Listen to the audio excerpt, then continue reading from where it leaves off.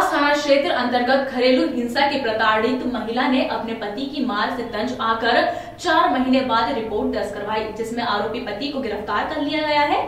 सतवास थाना क्षेत्र की महिला रुखसार ने पुलिस को जानकारी देते हुए बताया कि आरोपी पति कादिर खान, पिता अब्दुल निवासी, वार्ड नंबर तीन सतवास मेरे साथ ही मेरी नन्ही मुन्नी, बच्ची माही के साथ मारपीट करता रहा।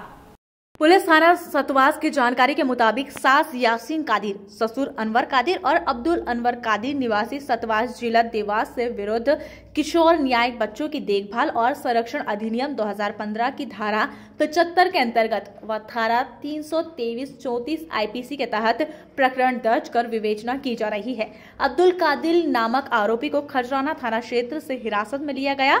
आरोपी पक्ष अब्दुल कादिर से अपना पक्ष जाना चाहा तो वहाँ अपने आप को बहुत बड़ा गुंडा बताने लगा और अपनी ही पत्नी पर मन घड़त कहानियाँ बताने लगा।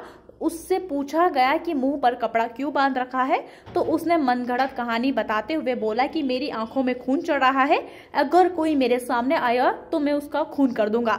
थाना प्रभारी हरीश जेजुलकर ने बाइट देने से मना कर दिया। कहने लगे कि हमारी एसपी महोदया ने देवास में पत्रकार वार्ता लिए। किरण शर्मा को नियुक्त किया गया है। इस बारे में वही कुछ बता पाएँगे।